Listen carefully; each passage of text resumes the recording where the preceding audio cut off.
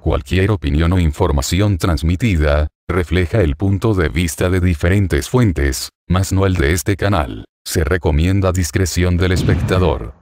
Tras lágrimas y un doloroso distanciamiento, Ana Bárbara se reconcilia con su padre.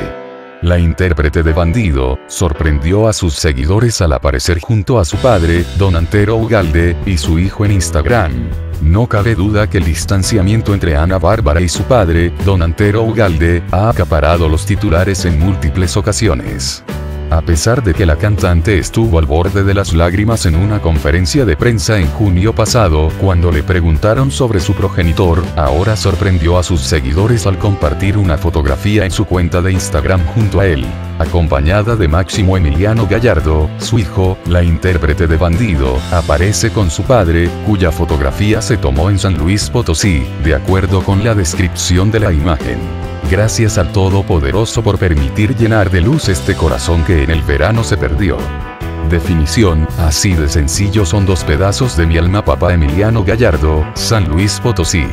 Escribió Ana Bárbara en su publicación, que alcanzó más de 32 mil me gusta en pocas horas. De inmediato la publicación consiguió cientos de comentarios, pero destacaron las palabras de varios famosos. De acuerdo con Agencia México, la mexicana contó al programa hoy que está feliz porque conversó con su padre y se reconciliaron en privado, pero no desea hablar del tema, ya que esos asuntos se solucionan en familia. Cabe mencionar que hace unos días, Don Antero Ugalde ofreció una entrevista a un programa de espectáculos en la que explicó la razón que provocó su distanciamiento. Ana Bárbara vino aquí a Río Verde, una vez. Fui a verla. La gente me conoce mucho, cómo comenzó la historia profesional con ella. Estaba ahí mi hermano José Luis, que era secretario de Finanzas de San Luis, con el gobernador. Entonces, Ana Bárbara ni me volteó a ver y dijo aquí está mi tío José Luis, el que me dio la mano y me ayudó, entonces, me sentí muy mal. Dijo, a pesar de lo ocurrido, el hombre detalló que en el pueblo todos sabían que él había ayudado a la intérprete y murmuraban. El que la ayudó fue Don Antero. Que no me mencione está bien.